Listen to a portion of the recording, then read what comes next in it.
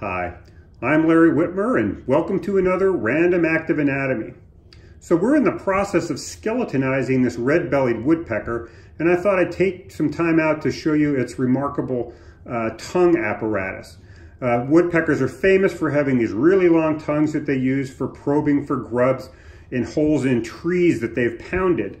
Um, what's really cool about these guys, if I can grab this guy's tongue, is that their tongue actually wraps around the back of their head and all the way onto the top of their head, sometimes as far as reaching back into the right nostril. That's a side view. Let me see if I can reproduce this in the top view. Let me grab his tongue here. Sorry, trying to grab it. Got it. Um, and so here it is in top view, and you can actually see it's really uh, pretty remarkable. There's another really cool video um, on, on the internet um, that shows this really well as well, but I wanted to see if we could uh, come up with one uh, with one of our specimens right here.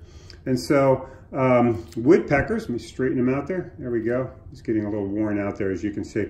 Um, woodpeckers have this remarkable tongue apparatus and this red-bellied woodpecker uh, shows it really well. Uh, so that's all for this random act of anatomy. I'm going to get this guy back um, in the process and pretty soon it'll be a lovely little skeleton. Thanks very much.